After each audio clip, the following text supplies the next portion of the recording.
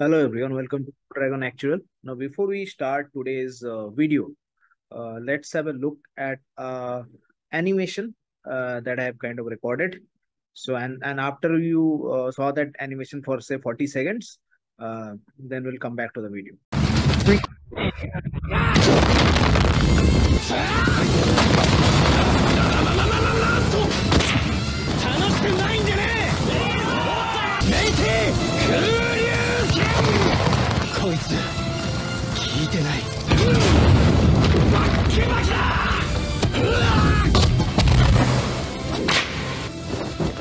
Ka- これでも。武術とは要するになんか動きがかっこいいものだな。ああ散々俺の技を受けて出した結論がそれかなめるなああもうかっこ Okay, I, I I hope that you have seen the animation and I think you have understood nothing. What is going on there? So that animation is taken from a series called One Punch Man, which is a Japanese animation. It's a popular animation, though I don't like it. Uh, however, the basis of that animation is uh, the main character or the main protagonist of that animation uh, of that animation can uh, beat anyone with a single punch, and that's how powerful he is.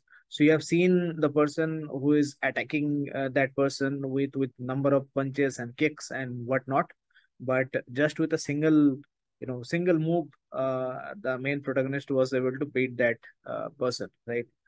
However, uh, uh, you also saw uh, uh, at the end of uh, that animation that uh, because of that move, uh, that that animation kind of uh, that that person, the main protagonist, kind of loses his uh, pant and is unfortunately uh, kind of in a, in a stadium full in a full stadium is kind kind of is standing in his boxers.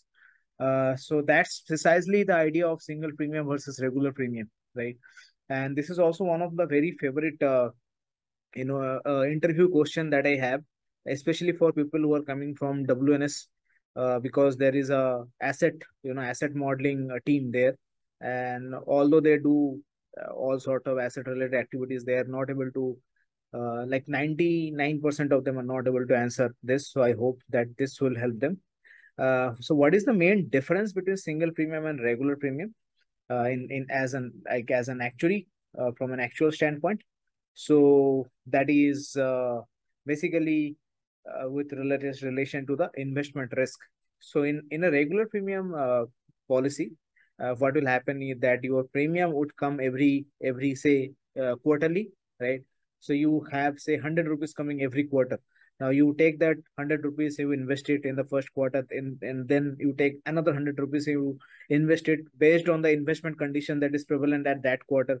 You again take that 100 rupees and invest it based on the investment condition that is prevalent in the third quarter and this goes on right? Now the first 100 rupees that you have obtained in the first quarter will be having its uh, you know maturity right? Maybe say 10 years down the line and that thing has to be reinvested uh, if the duration of the policy assuming the duration of the policy is more than 10 years then that has to be reinvested. Similarly the next 100 rupees that you have invested that you have to invest. So there is an investment risk and there is a reinvestment risk that is arising right? So your uh, liability might be there might be guarantees there might be a number of things right? And your liability might be growing at a different rate than your asset is and there is an investment risk. Once again after 10 years you have to kind of invest those assets right? Invest the investment proceed that you have kind of obtained and there is a reinvestment risk there because that will dependent on the investment scenario that is prevalent there. So if you see in a regular premium risk there is a lot of this uh, investment and reinvestment risk coming in.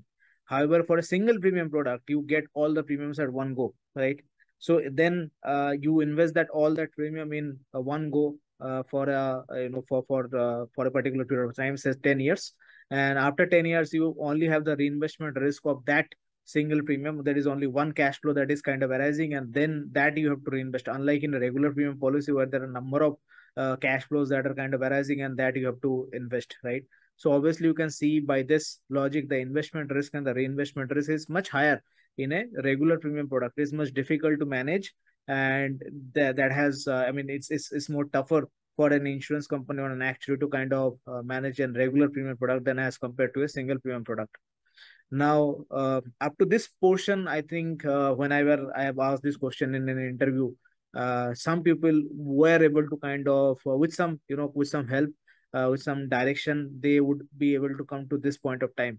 But then the next question is why not the insurance company just sell single premium policies? What is the because the, the investment risk is much less right why why uh, why do you want to even sell regular premium policies because you are getting the uh, you know the all all the things at at one go in a single premium policies uh, and uh, I think that it is there that uh, they were not able to answer. The simple answer to this, you know, is is how many people in India do you believe can sell uh, or can purchase single premium policies because single premium policies would be of say two lakhs, three lakhs, right? Very few people can do that. And insurance run on law of large numbers. Law of large number means that for a collection of a group, uh, your risk is reduced, right? If you have 10 people, uh, then there is a higher risk as compared to if you have 100 people because out of those 190 might be in good health right 10 would be in uh, poor health and those 10 would be kind of subsidizing for those 100 right and that's that's what is kind of given by the law of large number and insurance industry run on law of large numbers if they start selling only single premium policies uh, it would be very difficult for them uh, you know kind of to uh, get those numbers right? So insurance company even uh, for a small situation maybe like uh, you know a smallpox or or small cholera uh, they might they might turn insolvent because there will be very few people there will be very few policyholders. Company will go bankrupt. So now you know why the person who was kind of hitting with only single punch was standing only in his boxers right so now i think the animation is making sense. And that's the that's the main reason. Of course there are n number of other things that uh, someone uh, can come up to with uh, regards to single premium and regular premium. Uh, but the main reason is this that why regular what is the main problem of regular premium versus single premium?